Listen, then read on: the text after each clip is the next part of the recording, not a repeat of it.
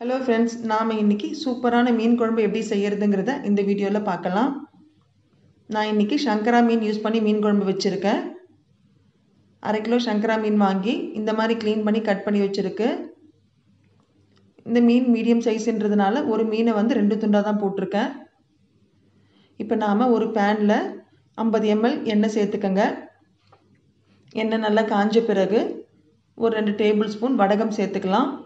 In case உங்ககிட்ட வெங்காயம் வடகம் இல்லைன்னா கடுகு உளுத்தம்பருப்பும் சேர்த்துக்கோங்க.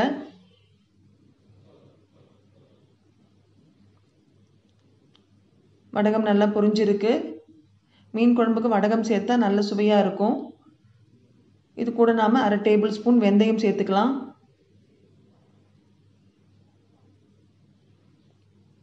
வடகமும் வெந்தயம் நல்லா பொரிஞ்சிருக்கு. இப்போ நீல வாக்கில் கட் பண்ணி வச்சுருக்க மூணு பச்சை மிளகாயும் சேர்த்துக்கோங்க.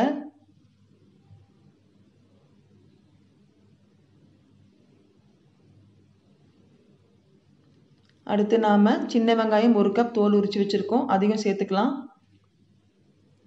கொஞ்சமாக கருவேப்பிலை சேர்த்துக்கோங்க. மீன் குழம்புக்கு சின்ன வெங்காயம் தான் நல்ல சுவையாக இருக்கும்.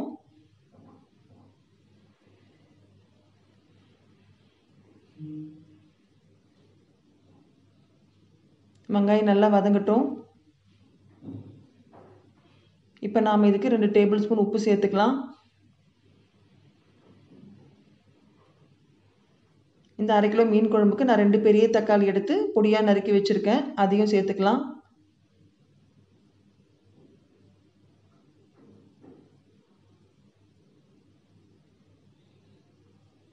தக்காளி வெங்காயம் நல்லா வதங்கட்டும்.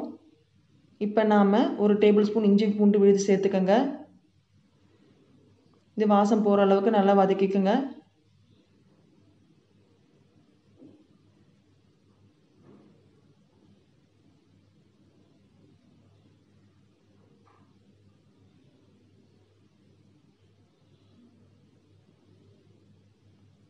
இப்போ தக்காளி வெங்காயம்லாம் நல்லா வதங்கிடுச்சு.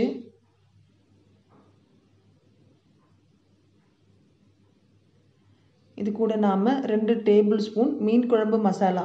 கடையில் விற்பாங்க பேக்கெட் நான் அதுதான் யூஸ் பண்ணுறேன் ரெண்டு ஸ்பூன் மீன் குழம்பு மசாலா சேர்த்துக்கோங்க. ஒரு டேபிள் ஸ்பூன் மஞ்சள் தூள்.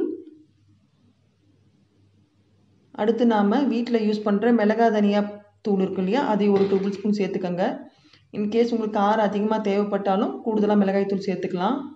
நான் ரெண்டு எலுமிச்சம்பழம் அளவுக்கு புளி எடுத்து ஊற வச்சுருந்தேன். அந்த புளி கரைச்சிலையும் இது கூட சேர்த்துக்கோங்க.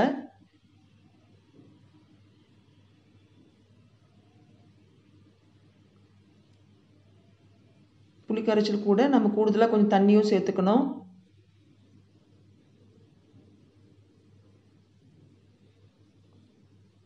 இந்த கிரேவி வந்து நல்லா திக்காக வர அளவுக்கு மிதமான தீயில மூடி வச்சுருங்க. ஒரு பத்து நிமிஷம் வரைக்கும் நல்லா கொதிக்கட்டும். பாருங்கள் கொதி வந்திருக்கு. பட் இருந்தாலும் இன்னும் கொஞ்சம் திக்காக வரணும்.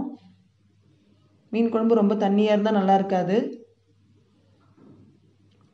பாருங்கள் நல்லா திக்காக வந்திருக்கு. எண்ணெல்லாம் மேலே அப்படியே நல்லா ஊறி வந்திருக்கு.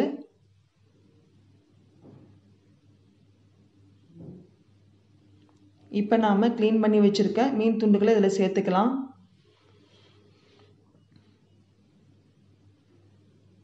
இந்த சேர்த்த மீன் துண்டுகள்லாம் வந்து ரொம்ப நேரம் கொதிக்கக்கூடாது ஒரு ரெண்டு கொதி அதாவது ஒரு ஒன்றரை நிமிஷம் ரெண்டு நிமிஷம் இருந்தால் போதும். அதிகமாக கொதிச்சதுன்னா மீனெல்லாம் நம்ம எடுக்கும்போது பீஸ் பீஸாக வந்துடும்